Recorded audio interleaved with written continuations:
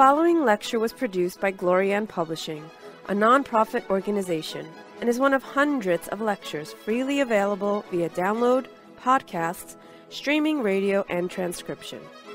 These lectures range in topic and complexity in order to address the many needs of humanity.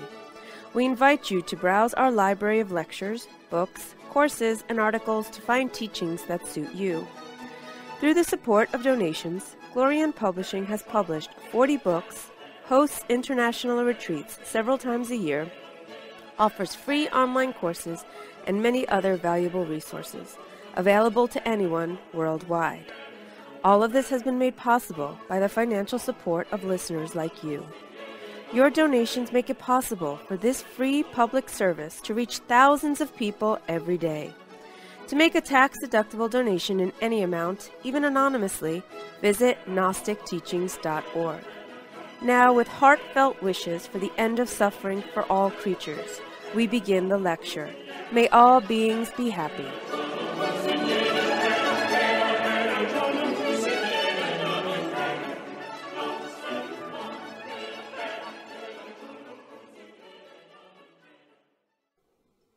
We are going to continue the course that we've been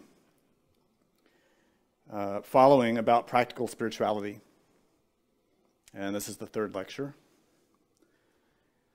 This course has followed two of the core scriptures of Hinduism in order to help us understand what practical spirituality really is. And those scriptures are the Bhagavad Gita which recounts a dialogue between Krishna and Arjuna. In other words, Christ and the human soul. And that scripture is an excerpt from a larger epic called the Mahabharata.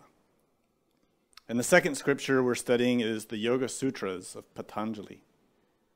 And these are more recent, but are the root scripture of what people call yoga even though the description and definition of yoga nowadays is very far away from what yoga really is. And that's really the reason why we're giving this course. Is to help those of us in the West understand that yoga is not simply stretching the body. That is like saying school is only what you learn in kindergarten. We know that school is much more than kindergarten. Kindergarten is just the, the antechamber. And so the hatha yoga that most people call yoga is simply an antechamber. It has some benefits that it offers to those who practice it, but its spiritual benefits are very limited.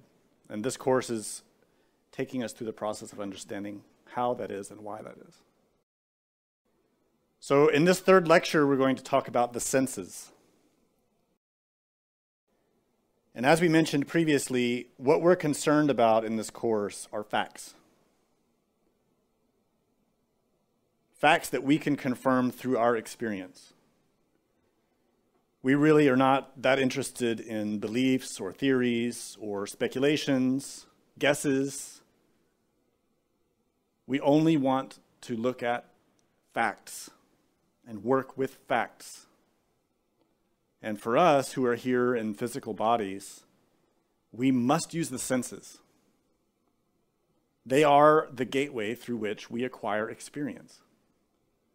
And therefore, we need to know about them and how they work and how to use them and how they can deceive us. Because much of what we perceive that we think is fact actually is not. That discrimination is what defines a real yogi.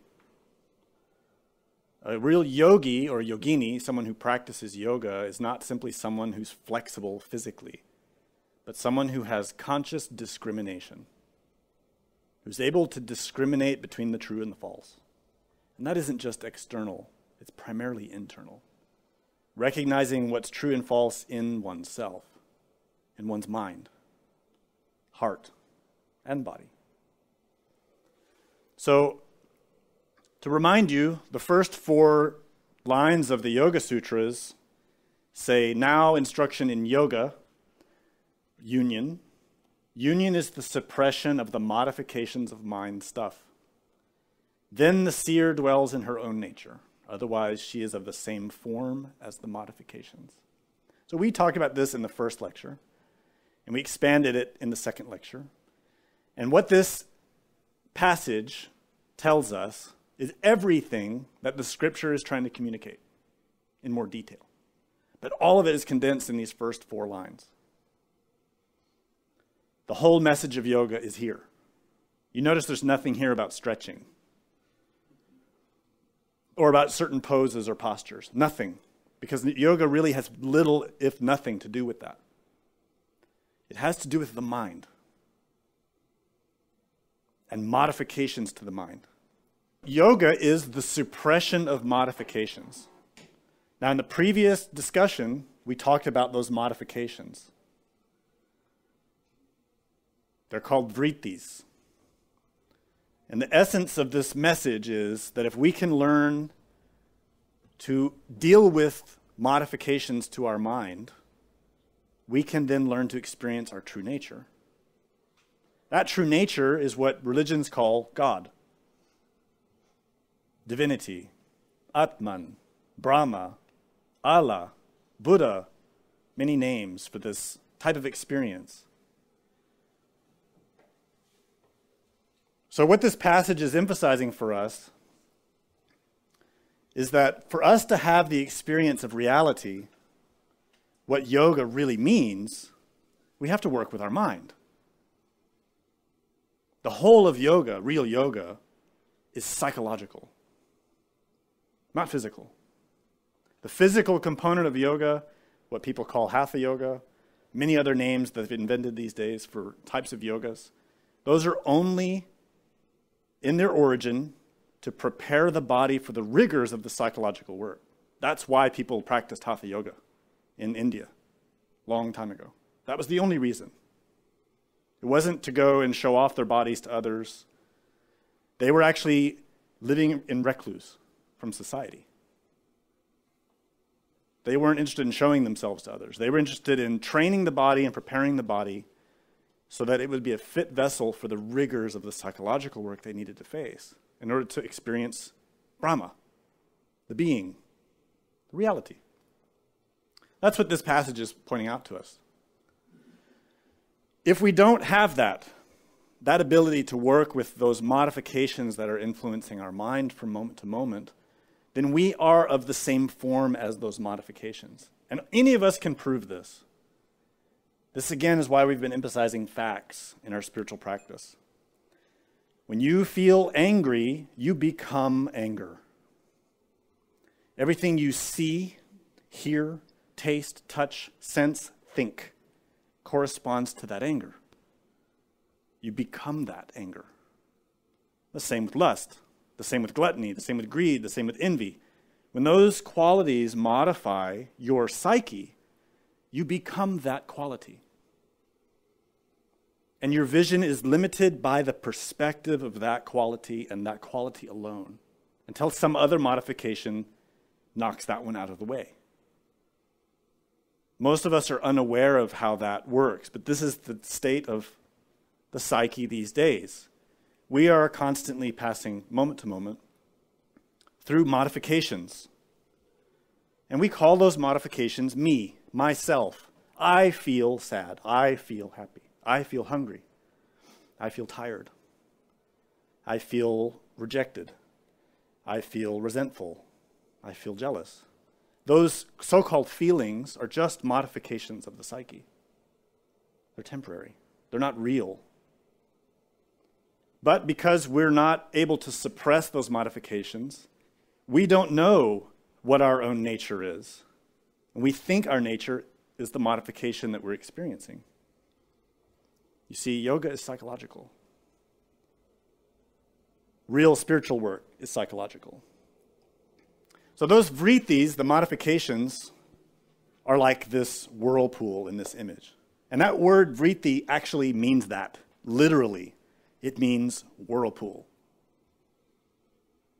And this is a beautiful illustration of a psychological phenomena that we're always experiencing, but that we don't perceive.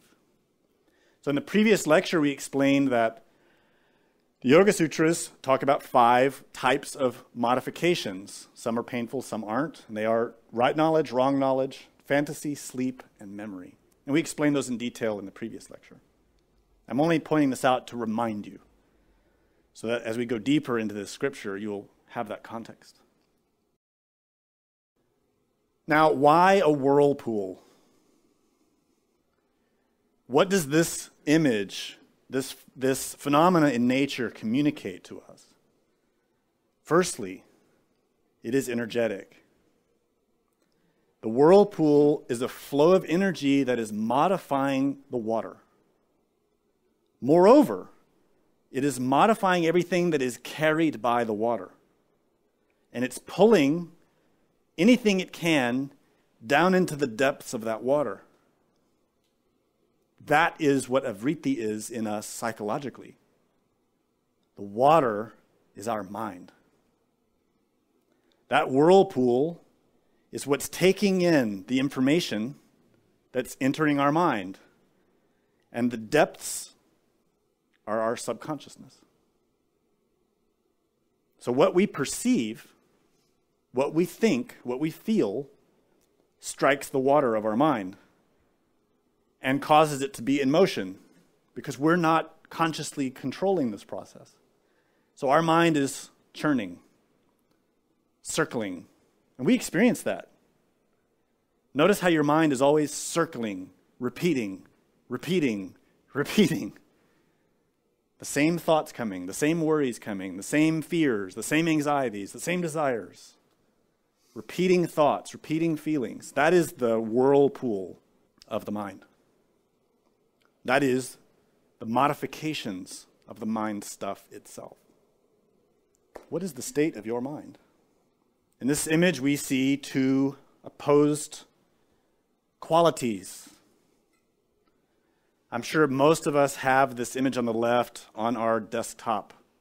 On our computer or on our iPad, we have a lovely picture of a beach somewhere that's very serene, and it makes us feel happy. Well, actually, what it makes us feel is envy because we want to go there and just live there, right? We want to be in that environment all the time, not here in a dirty, stinky city. So we want this serene, beautiful, carefree state of mind, which is illustrated or represented by this beach scene.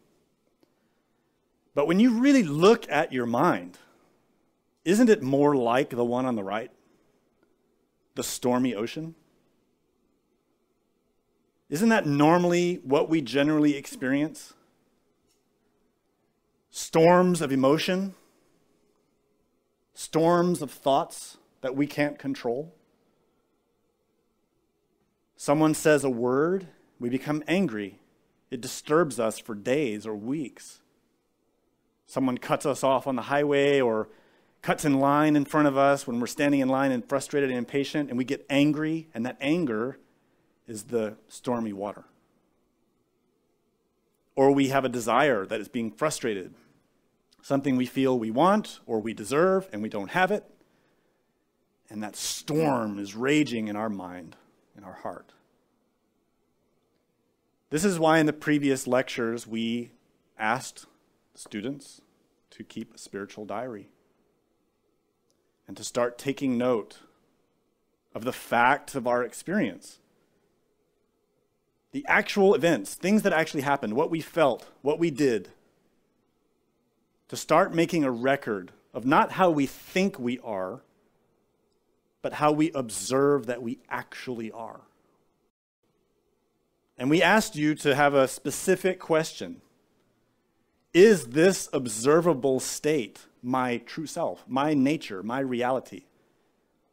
Or is it something temporary and impermanent, something that comes and goes without my real ability to control it?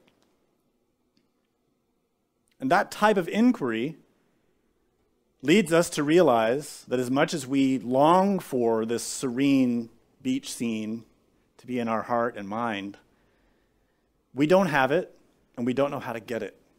And we think that if we just make a little more money, have a little bit nicer place to live, have a little bit better friends or spouse or partner or family or job or whatever it is that we think we don't have, that if we have that, then our mind will look like that beach and we'll be so happy. Then we can be really serious, serious about being spiritual. We can be so nice to people and donate money and help people out spiritually. Once we have the things that we want, we think we'll have this. But this is all a delusion. You see, our experience, we make it. We have what's called manas. Most of the time, we use that word manas and we imply with it mind. But when we look at the Sanskrit, the deeper meaning becomes very clear. It means a lot more than just mind. It also means heart. It also means imagination, intellect, inclination, will, temper, understanding, intention, spirit. There are many implications of this word manas. It says a lot. Now, unfortunately, most people who study yogic philosophy, Hindu philosophy, just read the English translations and they just think manas simply means intellect, mind. They don't grasp the real meaning of the word. When we observe the facts of ourselves, we see that we are much more than just an intellect. We have a physical body, and inhabiting that physical body is what we experience as a self, what we call a self. But that self is highly unreliable, mutable, changeable, and very influenced, easily influenced by even very superficial things. I know we all think that we're strong people, resilient people, smart, and that we have the capacity to do well and survive in this world to some extent. But if we're really looking at the facts of who we are in the context of religious aspiration, we have to be honest. And we have to realize that what we think is self is actually a false construction. Something that we built and developed for our survival, for our protection, but that actually has no real meaning, no reality. When we study that in the context of looking at ourselves, we see that we have this physical body. And we see that inhabiting this body is this so called self that has a certain name and certain memories and certain ideas and concepts and tastes, likes and dislikes. And all of that is always changing. The truth is that the real self, the reality of what we call self, never changes. All of us long for immortality. We're afraid of death. This is partly why we're attracted to spirituality. But the mistake we make is thinking that this self that has my name and my face and my language and my tastes and interests is what will become immortal. And this is not true. This self is the obstacle to immortality. It is the cause of my delusion, the cause of my suffering, not the redemption of it. This self is what causes the suffering. This is what we're calling manas. In the first sense, it is mind heart at our level. But manas is a lot deeper than that because there are levels and levels and levels and levels of manas mind, heart, intelligence. There is a real self. In Hinduism, they call it Atman. And deeper than that, they call it Brahma. So, to understand this more clearly, we always study the tree of life. We study Kabbalah. If we look at this structure of 10 spheres, it maps who we are on many levels. Our physical experience corresponds to this lowest sphere, which is called Malkut. The next one up is called Yesod. It corresponds to our experience of energy. And the next two up are Hod and Netzach. And these are what we can call heart and mind, emotion and intellect. Mind, heart, heart, mind. This is manas in the first level. But deeper, we have Tiferet, which we can call the human soul. We can call it willpower. We can also call it manas.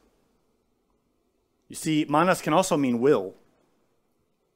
So, really, we're talking here about levels of manas.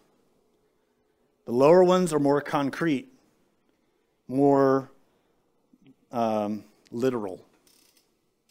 And the more elevated ones are more subtle, more intuitive, more abstract.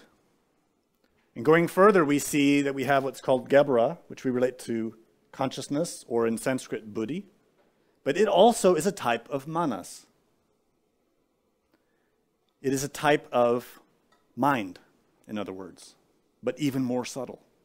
Atman also, which is the next one, which in Kabbalah is called Chesed, is the spirit. But spirit also can be manas. So, manas in itself, I'm presenting it this way so that you understand that when you read the term manas or you hear the term manas, in most cases, what we're describing is Tiferet, human soul, but it embraces this whole region. They're all connected with each other, they're all interrelated, interdependent. You see, you cannot understand one Sephira in isolation from the others. You can only understand it by comparing with others and understanding the others. It's the same with us. You can't understand your thinking unless you can understand your feeling. And you can't understand your feeling unless you also understand what's going on with the body. You have to study the whole, not in isolation. Nothing can be understood in isolation. Things can only be understood in their interdependence with each other. So you see, this is quite a sophisticated but logical approach. Now, the important point here is that manas has three letters in Sanskrit. The first one is the letter M, which means water. For those who know Hebrew, this is exactly like Hebrew. The letter Mem means water. Water is used as a symbol of mind throughout many religions, but especially in Hinduism. The mem, that M can also mean the moon or poison or time. The N letter can mean like or as. So right here we see like water. And the S, bestowing, granting. So the three letters of the word manas means bestowing like water, granting like water. What does water give us? Life. Not just physically, but esoterically as well. This is very deep significance, which we're going to come to. There are other meanings. That letter N can also mean war, fetter, jewel, pearl, gift. So you can translate manas to mean gift from the waters, pearl from the waters. It can also mean poison. It can also mean war. And that letter S at the end can also mean a snake, a bird, air, wind, knowledge, meditation, offense, a road, and all of those have deep esoteric meanings that apply, especially when you study mythology. So, why explain all this? This seems very theoretical, but it isn't. We're talking about facts. So, let's go back to the Yoga Sutras. The next lines that we need to study are 12 through 14. Now, remember, we're talking about these vrittis, these modifications of mind stuff. So line 12 says, control of vrittis is done by abhyasa and vairagya. Of these, abhyasa is the effort to secure steadiness of vrittis. So we already talked about how we want that beautiful, serene beach scene or lake scene to be our quality of mind. We want to feel calm. We want to feel serene and at peace. This is universal. Who wants to feel pain? Who wants to feel in conflict? No one. Everyone wants to feel peaceful and happy and without threat. And that's what that symbol, that beach scene that we've all got on our computers, represents for us. It's a state of peacefulness and safety. No stress, no tension, no worry. We want that, but we don't have it. And we don't have it precisely because we don't know how to deal with vrittis, these modifications that impact our mind. This is the first thing that yoga teaches. Isn't that interesting? The whole world knows about yoga now, but nobody knows about this. But this is the very first thing the scripture teaches. That astonishes me. That everyone's out there learning how to do downward dog and sun salutations, but no one knows how to control their mind. And that's the first thing taught in the Yoga Sutra how to control the modifications of your own mind. Step one of yoga is that. So, the way this is done, the first is abhyasa, which means practice. We use this word practice in spirituality all the time. We talk about our spiritual practice. But let's become very cognizant of what that word means. In Sanskrit, abhyasa means practice, but it also means habit, drill, custom, study, use, military exercise, basically anything that's repeated. Anything that's permanently and repeatedly being done, regularly, consistently. Now, we all think to ourselves, yeah, I, I do my 10 minutes of meditation. That's my practice. Or I do my one hour of meditation. Or I do my pranayama every day. Or I do my yoga practice, whatever that spiritual practice happens to be. And we feel that is good. And that is our spiritual life. And that's great. But let me flip that coin for you and ask you about the other 23 hours of your day. What is your practice of those 23 hours in which you are not doing your meditation or your yoga? What are you doing? Because everything you do in every moment impacts your mind. If your mind is chaotic, if your heart is chaotic, it is because the modifications of your mind produce that state. 10 minutes of meditation can't do much against 23 hours, 50 minutes of chaos. It's logical. So, this is why in ancient times, people who wanted inner spirituality extracted themselves from the regular lifestyle. They became renunciates, monks, nuns, yogis, sadhus, whatever the name you want to use, in order to lessen the impressions that they got from the outside world, to restrict the sensory data so that they could establish control of the mind. And so they could practice that regularly. So, abhyasa is that effort to secure steadiness. This is why people always left to go to the monasteries or go to the cave in the woods or up in the mountains. We don't have that luxury now. But we also don't need it. This can be done in your daily life. You just have to be aware of it. You have to make that your practice, your study, your abhyasa, to study your mind, to study your senses and how impressions are creating your experience of life. Are you stressed? Are you tense? Are you wound up? Are you afraid? You made that. That state of mind was made by you, how you transformed what you perceived. You make your experience of life. That is a law of nature. No getting around it. That is the basis of Hinduism, Buddhism, Christianity, Judaism, all of them. They all explain that. We are the product of our own works. So, abhyasa becomes firmly grounded when practiced for a long time without any break and with perfect devotion. Most people read this and they think it means when you do your yoga stretches, you have to do it every day, you do it a lot, and little by little you get perfect at doing your, your asanas it has application there. But that's not really what it's about. This is about steadiness of vrittis, modifications of mind. Steadiness. Getting the psyche to become calm, to not be a storming ocean, to be a mirror, to be still, to be at peace. So, practice in this sense means much more than just meditation practice or pranayama or repeating mantras. It means how we use each moment. How do we transform what we perceive? That is what abhyasa is really implying. Now, the second part is vairagya.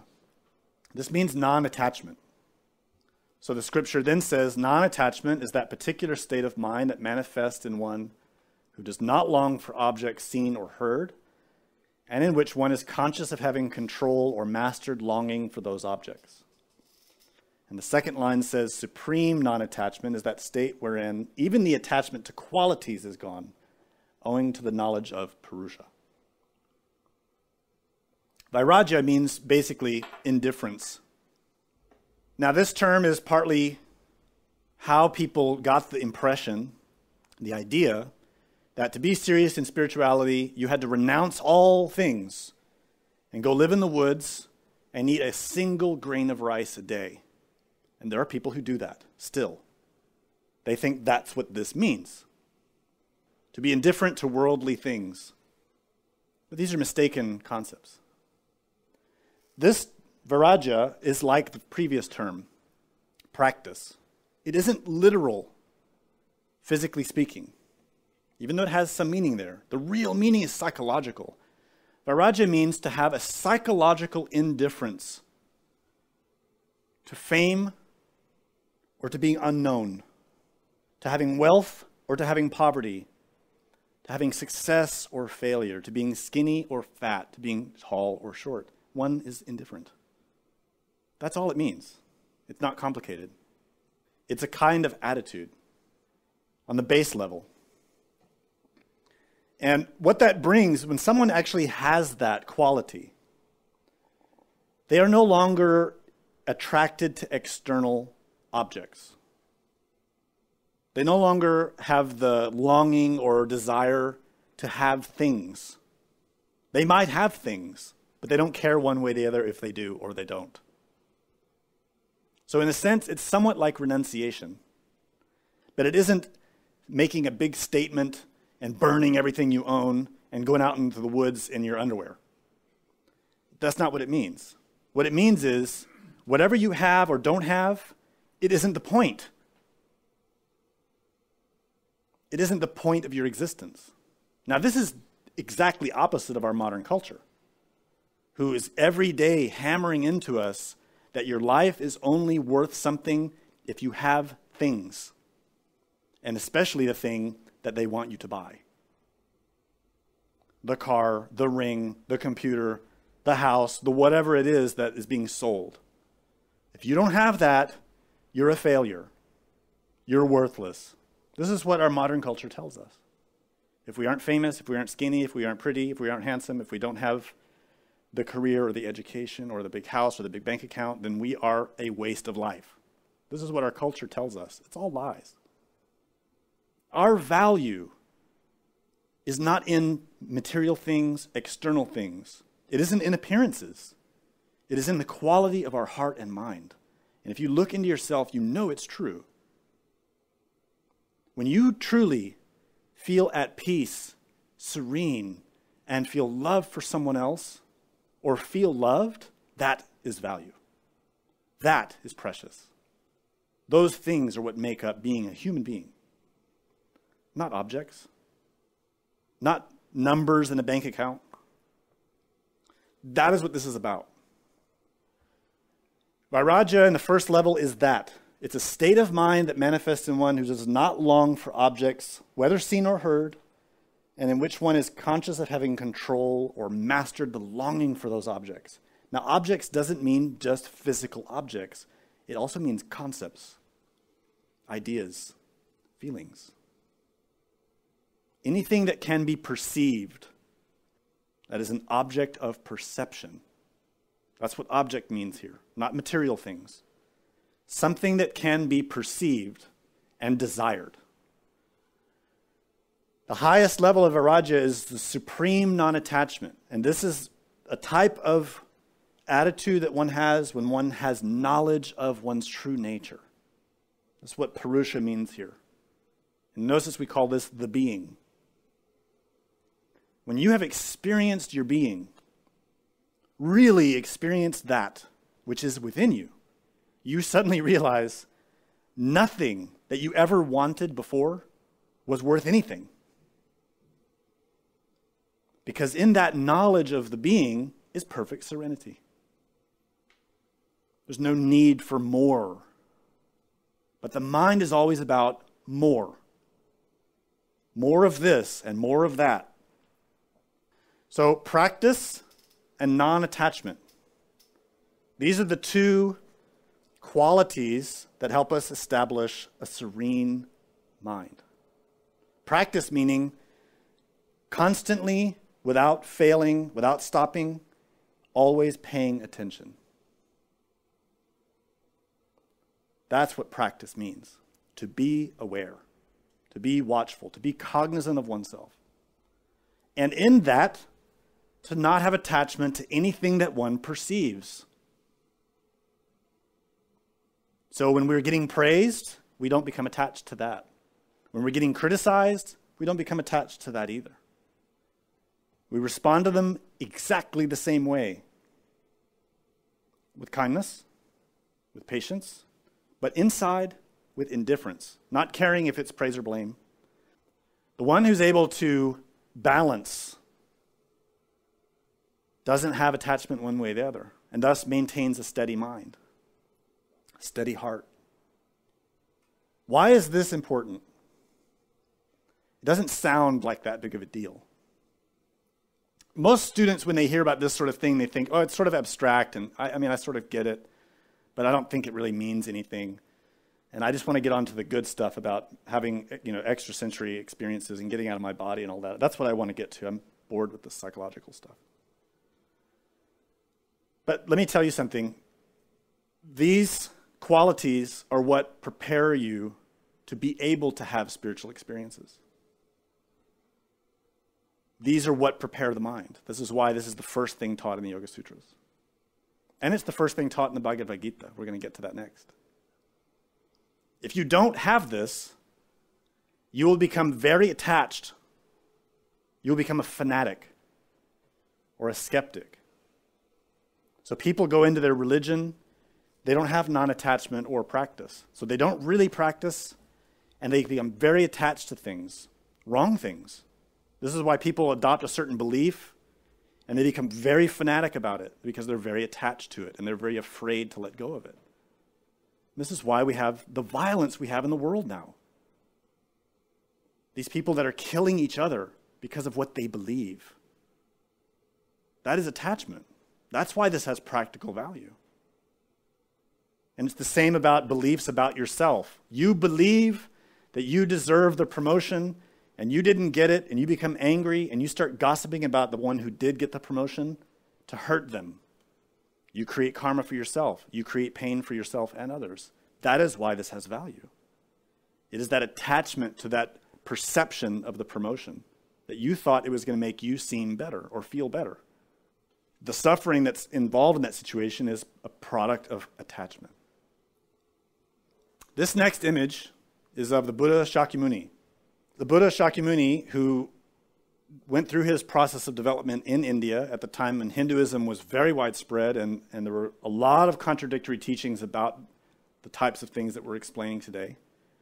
He had experiences and saw that suffering was so awful that he thought he needed to find a way to fix it. So he went to the yogis, and they said, You need to become a renunciate. You need to have non attachment, and you need to practice. You need to go out into the forest and become an ascetic. Someone who has nothing. So he literally went to the woods with only his cloth and a bowl, and he ate a single grain of rice each day and only meditated. That's all he did meditate. That's it. That's how serious he was. If that doesn't put your own practice in perspective, I don't know what will. Now, in the course of that long time, he obviously became very weak and looked like a skeleton. That's why he's painted that way in this image. All of his bones could be seen through his skin because his body was wasting away. And in the process of his meditation, there are different stories that relate how this happened. But in synthesis, he comprehended that extreme asceticism was the wrong path. And on the other side of the pendulum from that was the path he grew up in, which was that of a wealthy prince, where he had everything. So that was extreme indulgence. So he was able to see these two extremes were both mistaken. Both were unable to solve the problem of suffering. And in the instant he realized that, there was a middle way. This woman shows up, whose name is Sujata. And she offers him a bowl of milk. Now, that milk, the story says, rejuvenated him completely, instantaneously. And he then went out to begin teaching his path of the middle way. Now, I'm pointing this out because I know how our minds work, and we hear about renunciation, and we hear about non attachment and practice, and we get these extreme ideas that we have to give up everything we love, and we have to lose all of our friends and family and become this sort of ascetic. It doesn't mean that. All it means is that we have to find that middle path between all experiences, in all things, neither indulging nor always avoiding. But in the middle, what is the balance, psychologically speaking? It is a type of non attachment, not attached to avoiding or craving. Now, this story is very beautiful in how it relates to many mysteries in the teachings, but specifically to one of the core teachings of Hinduism, which is the story of how the gods and the devils churned the ocean of milk. Most people who know something about Hinduism have heard about this myth. It's called Samudra Manthan, which means ocean churning. And this story is related in several of the ancient scriptures of India. The basic uh, story is that the god Indra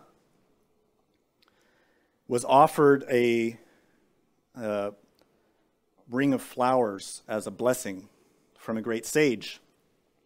Indra is the father of the gods, the king of the gods, like Zeus or Jupiter, but in the Hindu mythology.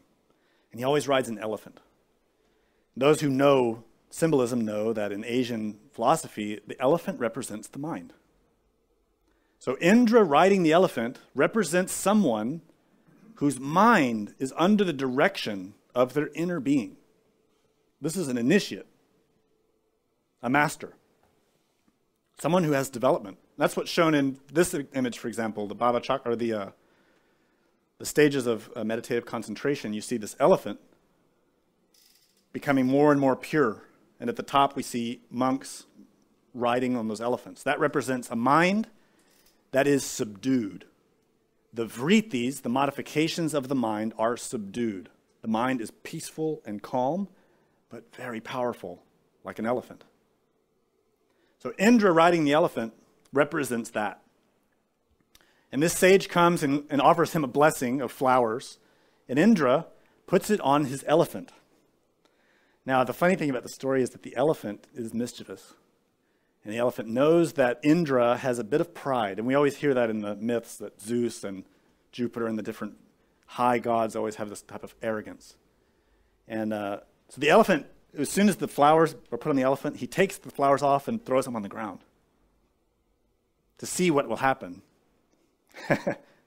so, of course, the sage who gave the gift becomes very angry. So, who was proven to be the one with the, the defect was the one who was trying to test the god. The sage becomes angry and curses Indra. As a result of that curse, all of the gods lost their power. Now, this myth represents how a master falls. Because of the mind, the elephant. And the gods inside of that master lost their power. See, it's a simple story. The result is that the gods want to get their power back. So, on behalf of some of the other high gods, they realize that if they churn the ocean of milk, they can cause it to give forth the benefits that they need in order to regain their power and status. So they take a mountain, the mountain Mandara, which means mirror or heaven or tree of paradise. They also take the serpent from Shiva's neck and they wrap the serpent around the mountain. And the demons, who also want the power that will come out of this, try to grab the tail. And the gods prevent them. The gods grab the tail, and the demons wind up grabbing the head of the serpent. And so they start churning the mountain in the waters. Now, it sounds like a kid story, but it isn't. This story has many levels of very deep meanings. Of significance here, that mountain is inside of us, not outside. And those waters are inside of us, not outside. This isn't some literal thing that happened. It's a story about how to recover oneself from failure, how to take oneself out of this powerless state and recover power, and recover peace, and overcome the demons, the forces that are in us. So, this scene is exactly our mind when we take on the spiritual path.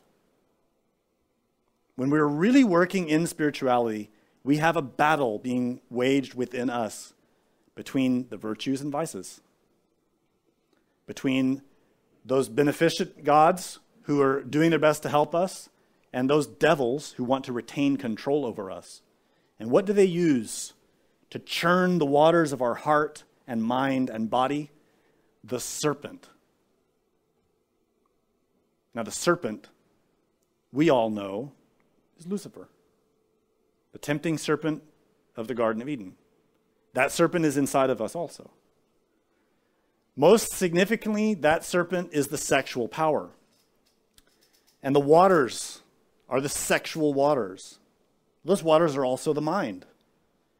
If you study anatomy, you know that the brain and the spinal column are surrounded by liquid. And it moves up and down, constantly cycling from the top of the head to the bottom of the spine. That cerebrospinal fluid chemically is nearly identical to the seminal waters. In that fluid, there's a motion, a movement of energy and forces, not just physically, but psychologically. There's a very powerful relationship between the waters of the brain and the waters of sexuality. That's why genuine spiritual paths demand that one learn to control the sexual waters in order to control the mind. If you cannot control your sexual vrittis, you can never control your mind. It's impossible. But if you can control the, the energy that's in your sexuality, you can definitely conquer your mind. This is why all the beginners always became celibate. In order to gain control of the sexual energy, to dominate that and begin to recirculate it using exercises that we're going to talk about in later lectures called pranayama and other types of practices, where that energy of the sexual water is cycled up through the spinal column to the brain and back. Up and down, up and down. That runs contrary to this back and forth pull of the gods and devils. Does anybody see the shape of the energy that's being moved in this image? You see a cross? There's no accident there. There is a cross in this story. That cross has deep esoteric significance, which we talk about in almost every lecture. And that's the crossing of the polarities, the forces that are needed to really advance in this type of work. The basic point is this is a psychological process, not a literal external process of gods and devils. These are the gods and devils in your own mind, churning your waters sexually and psychologically, to tempt you, to test you, to see how you handle it. Now, fortunately for us, in the myth, the gods win. I hope it's true for everyone here as well that the gods will win the battle. And if they do, when the gods win and the ocean of milk becomes churned, out of that ocean emerge all kinds of beneficial qualities that rejuvenate the power of the gods. the most significant is a woman. Mohini emerges out of the waters. Mohini is an incarnation of Vishnu, but her name means delusion personified.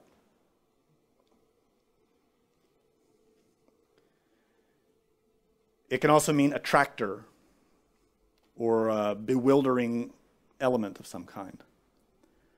Now, Mohini is a goddess, the result of this transmutation that's happening as all this energy is being moved in the waters.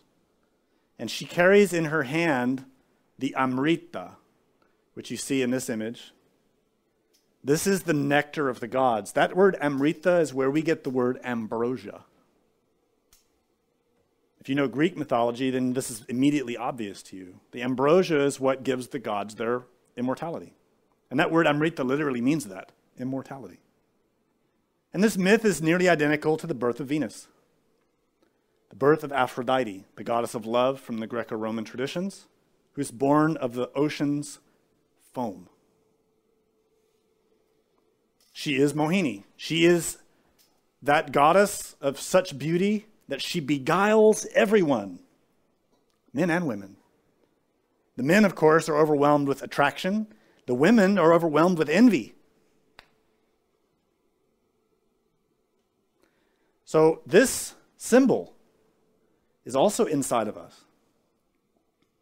By working with the waters of our mind and the waters of sexuality, there is where we can find the potential for immortality. But the one who holds it is that woman. Now, she is a part of the divinity in us. She's an incarnation of Vishnu, which is part of the cosmic Christ.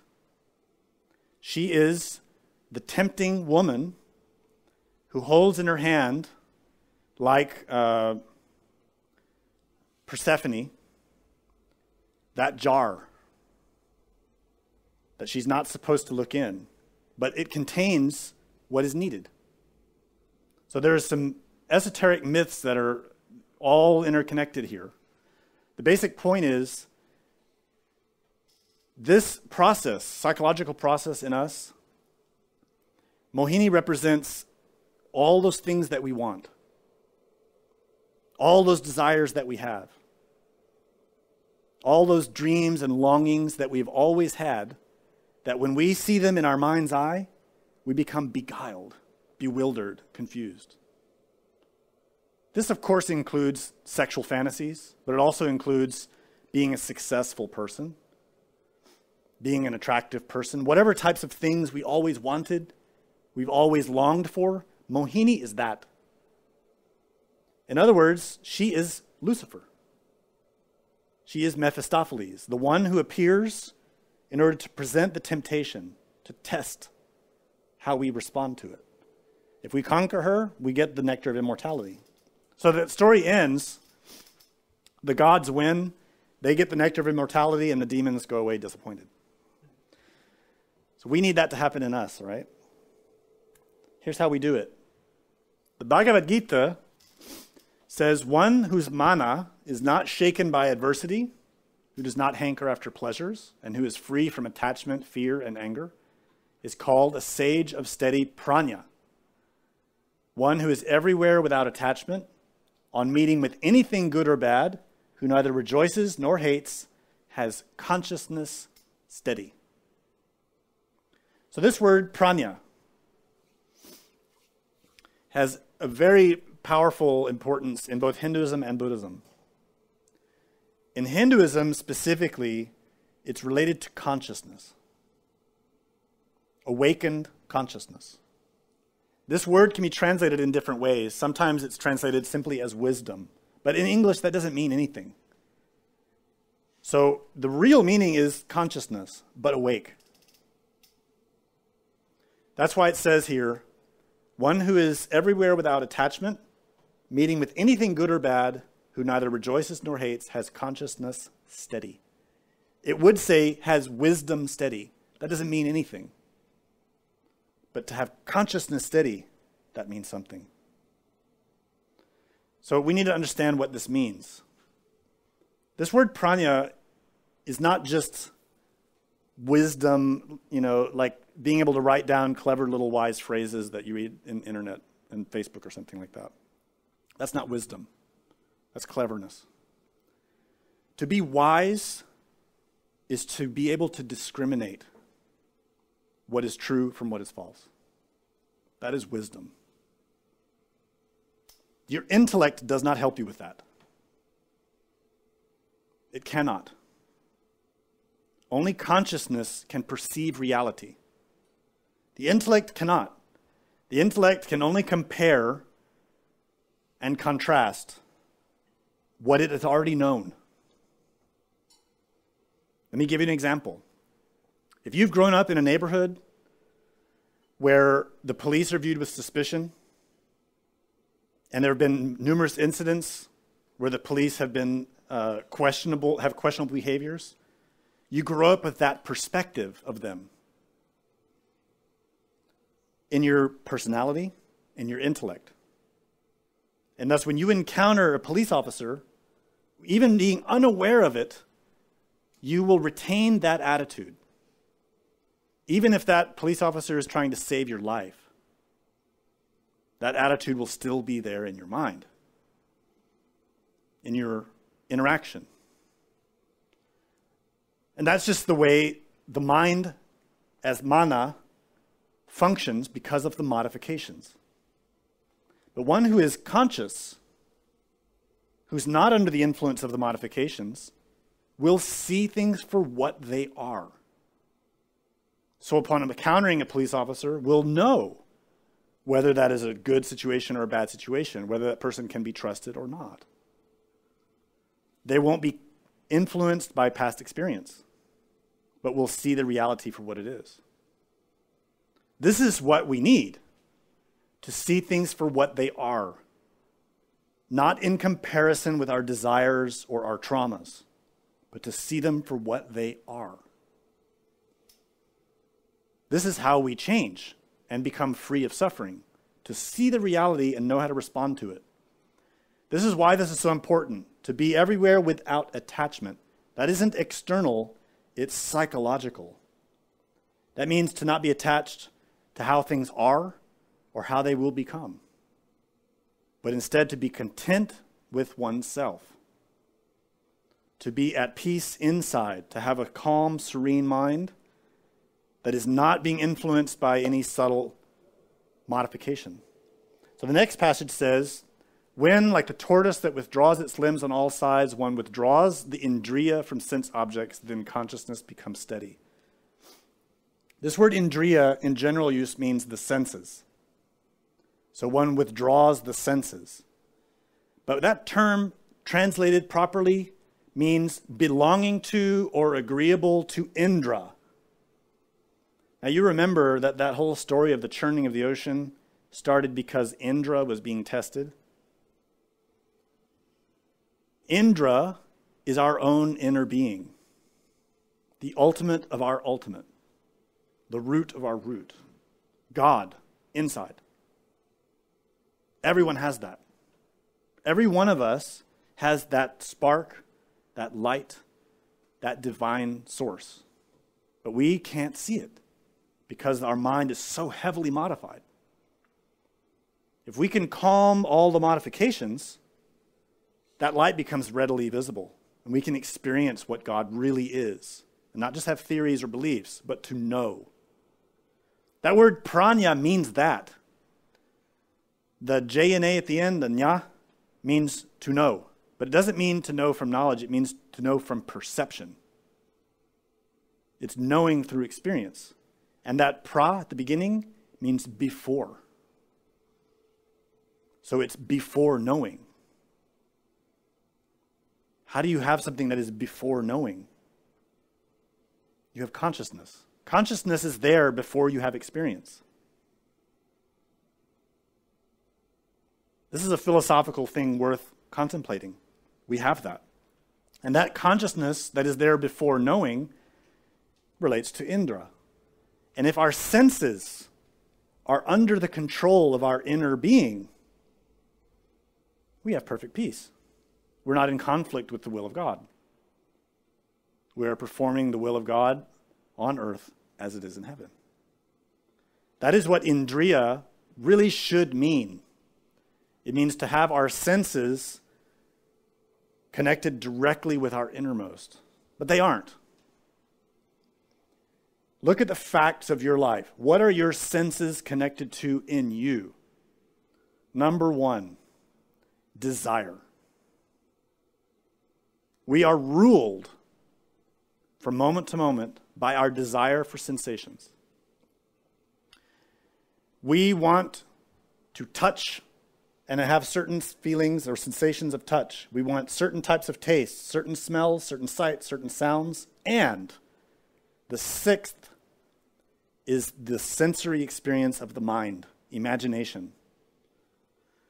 I know that in the West we talk about five senses, and that's because in the West we don't have any idea what real psychology is.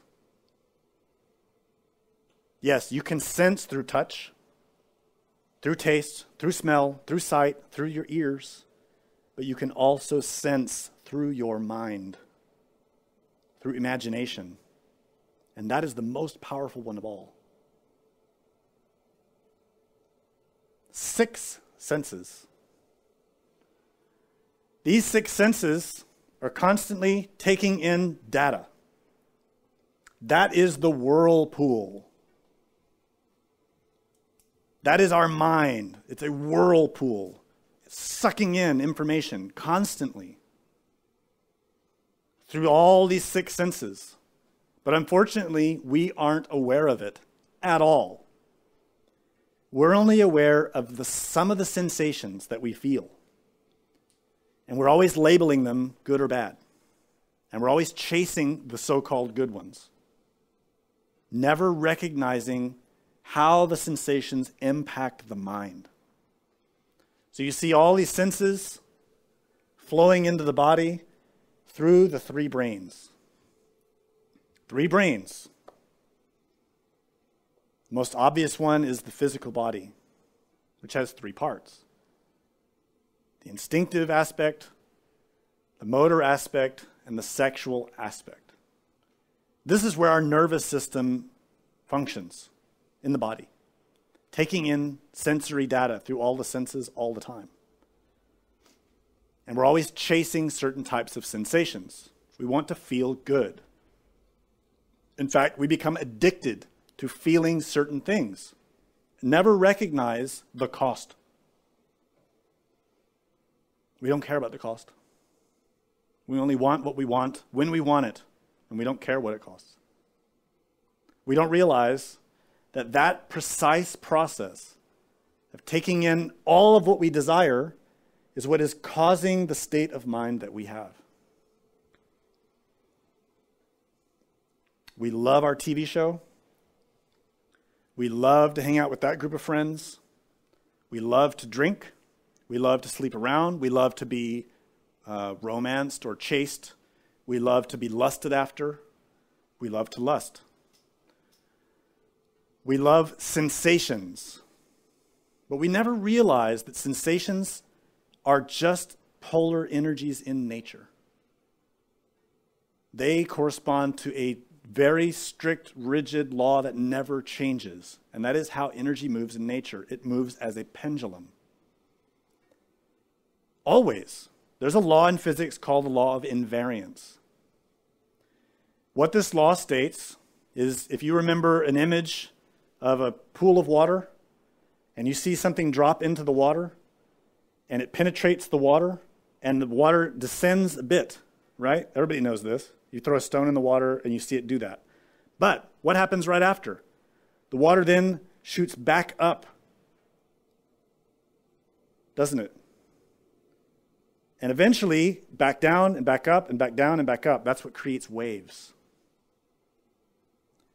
Nature is balancing the forces in order to return itself back to that state of equilibrium. That is called the law of invariance. That does not only apply to physical things, that affects your mind. Your mind is water psychologically. When things impact the water, it creates waves up and down. And when enough of those happen, the whirlpool starts churning, churning. And you keep throwing more impressions and more impressions, more lust, more desire, more envy, churning the waters more and more. This is why our world is such a mess. Simply because of this. That's why this is the first thing taught in the Yoga Sutras and the Bhagavad Gita. Number one spiritual lesson in Hinduism. None of the Hindus know it. At least they don't practice it. Because you see, all the problems in Hinduism in India and all the places where Hinduism is prevalent could be cured if they only had this attitude of non attachment and practice. If they only were able to withdraw this sensory power from their desires, then we wouldn't have these problems. So that word indriya means belonging to Indra, but it also means the power of virility, the power of the sexual energy, specifically semen, but sexual energy. This emphasizes that the power of the senses is most rooted in sexuality. And we know that. We know that the most powerful sensory experience that we can have is sexual. That's why everybody's so hypnotized by sexuality. So hypnotized and addicted to pursuing a brief and fleeting experience of sensations, which then go away, and then you're left with a lot of problems.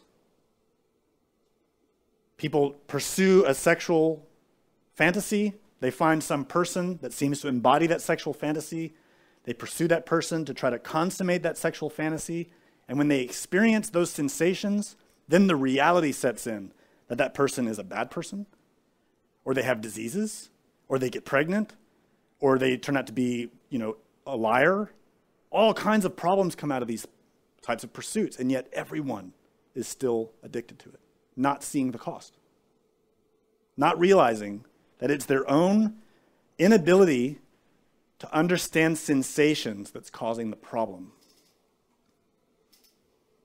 When you really comprehend what a sensation is, you can stop being addicted to it.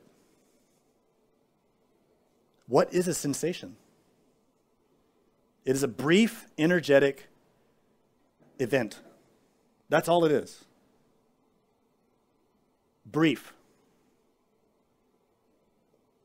Now, think about it. How many people can't lose weight we know there's a lot because that's a huge industry worldwide now. All these promises and products and plans that will guarantee that you will lose all this weight in a short period of time. And yet, think about it. If all the people doing those plans were succeeding, we wouldn't need the plans anymore, would we? But it seems like every few years, those numbers of plans and ideas and concepts, there's only more of them, not fewer, which implies there are more people overweight than fewer. And it implies that none of those plans work. And you know why? No one can control that one inch at the tip of their tongue. That's all there is to it. That little tip of the tongue is what is controlling the body and the mind of that person. The desire to eat that food, whatever that person wants to eat, whatever sensations that person wants, they just want it. They don't care about the cost. They don't care about the result for their health, for their environment, for their pocketbook. They don't care. They just want to eat what they want to eat. And then later they say, Oh, I can't lose weight. I'm so fat. I just want to eat one more bag of chips. Simple. But it isn't so simple, is it?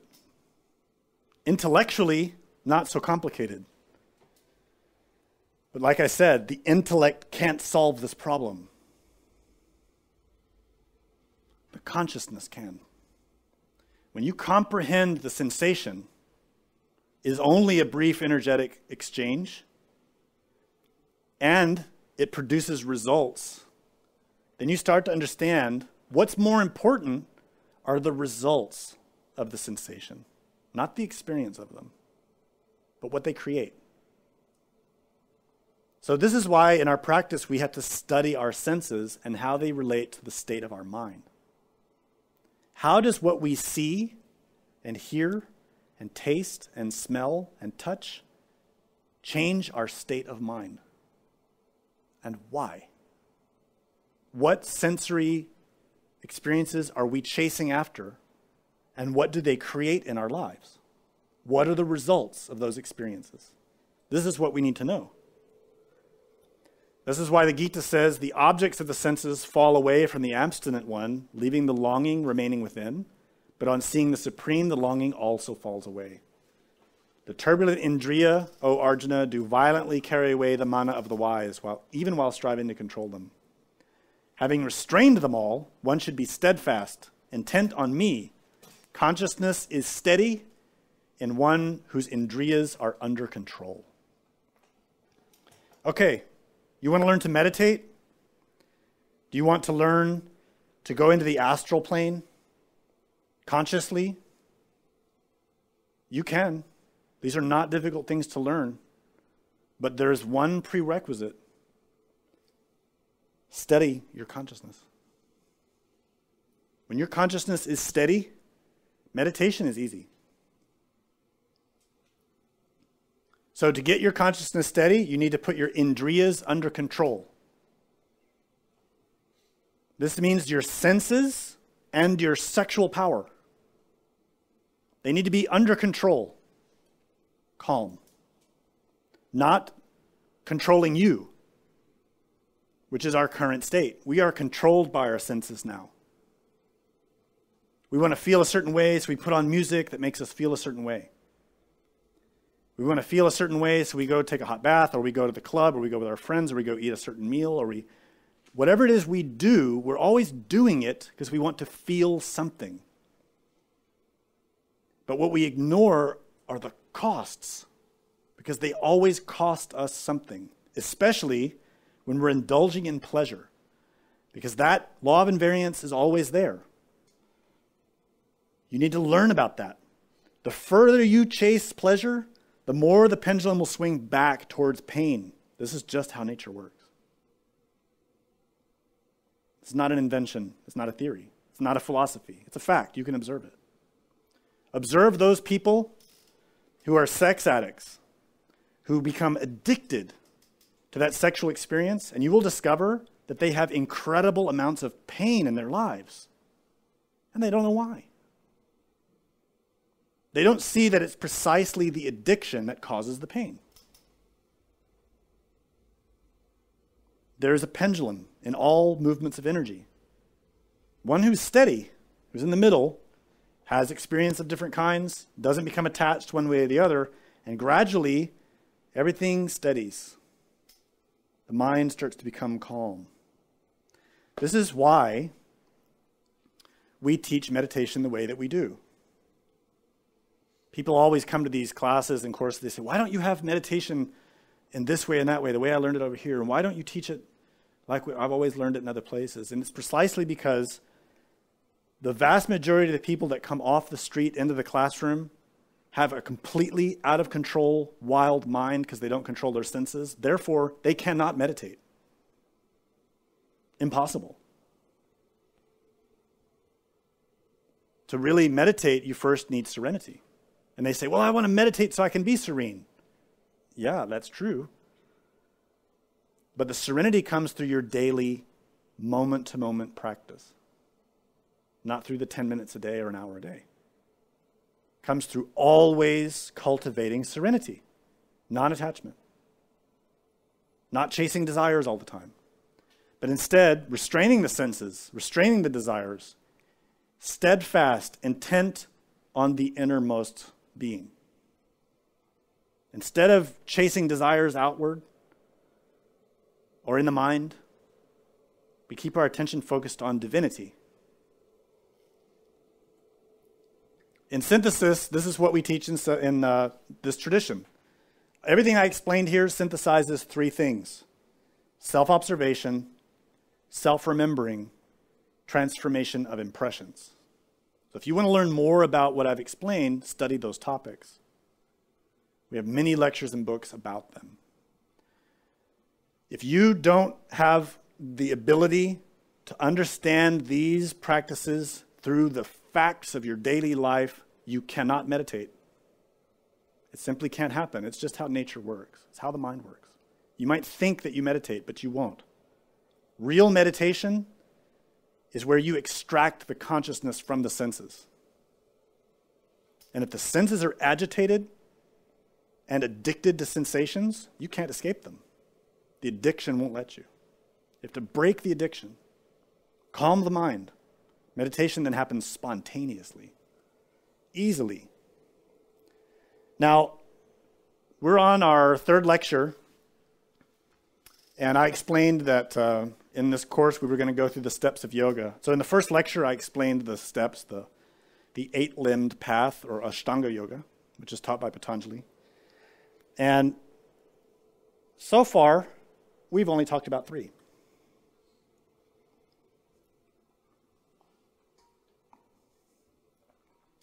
And that's because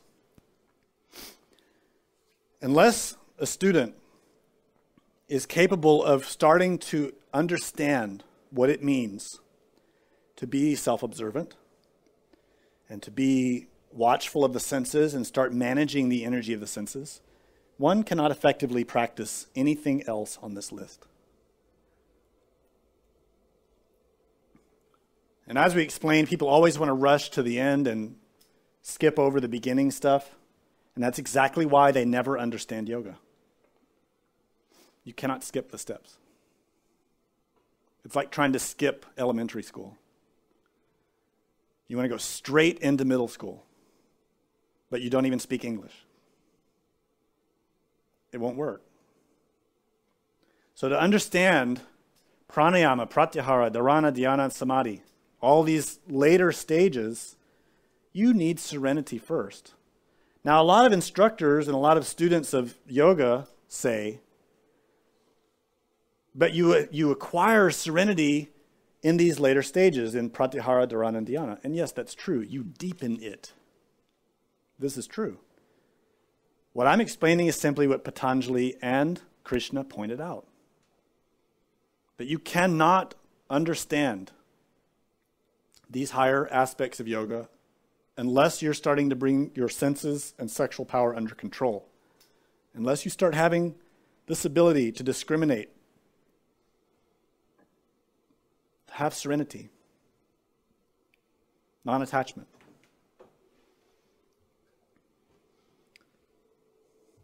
So, if that's what you want, we have repeat again what we did in the first two lectures. Learn these 10 steps of yama and niyama, five of each. We explained them previously. But now, work on these 10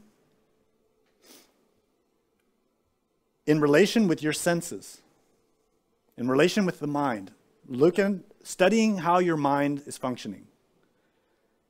First step of yoga, number one, ahimsa, to be kind, to have compassion. Can you do that even when you're angry? Even when you're being blamed or attacked or criticized, wronged? Can you still be kind when you've been waiting for someone to give you something for hours and hours? Can you be kind and compassionate after missing a meal? Most of us lose our temper pretty quickly. What if you've missed two meals in a row? What about three? Most of the men are starting to get very cross looking faces. What if you suddenly were in a situation where you could not access food and you had to go for several days without food? Could you still be kind? Patient? Now, I know we all think, of course I could. I can control myself. yeah, you think. Every one of us has profound weaknesses when it comes to the senses. Eating is simply a sensory experience. We need to eat to live, But you will live if you miss a meal or a couple or a day or two. You'll still live. Yes, you'll be hungry. You might be cranky. But that's no excuse to tear people's heads off. But we do it. We miss a meal or we're an hour two late to eat something and we become very cranky and angry. That shows we have no control over the senses or the mind. None. At least in that experience. That shows our weakness. We need to change that. What about truthfulness? Can you be truthful even if it means you will suffer consequences or someone you love will suffer consequences?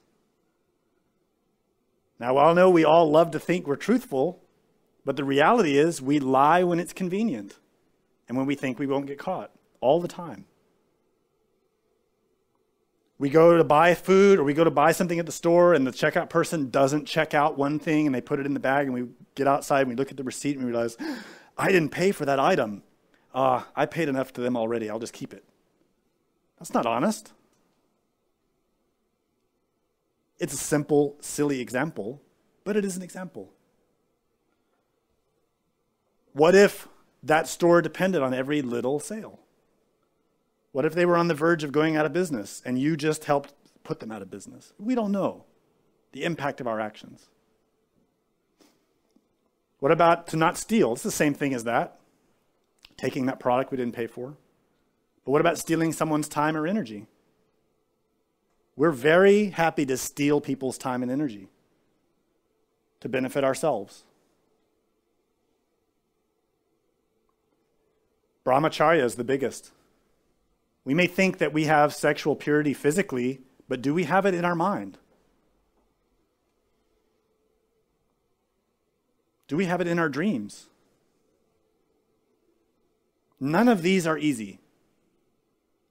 Don't just read the list and think this is easy stuff. It isn't. The whole of yoga is the perfection of these 10 qualities. The whole of it.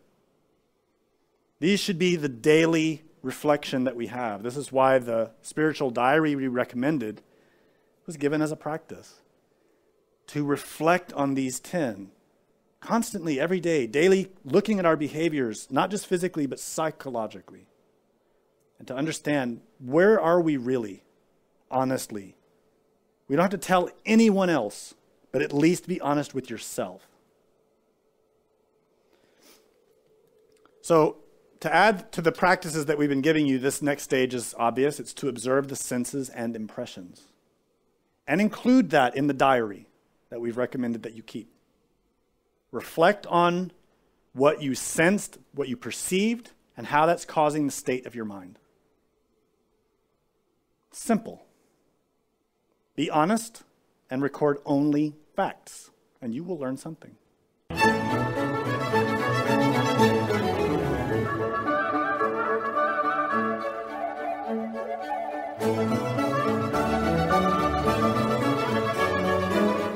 To learn more about what you learned in this lecture, we invite you to explore the books published by Glorian Publishing, available from booksellers worldwide.